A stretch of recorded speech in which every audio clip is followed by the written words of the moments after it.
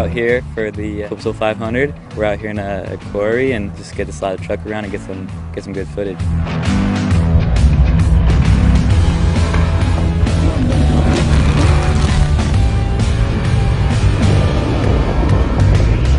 The roll was totally just unexpected. Like didn't mean to do it at all, and for how bad it went, it probably went as good as it could have gone. So it didn't hurt too bad. I hit my head on the seat kind of, but no, nothing, uh, nothing I've been through before.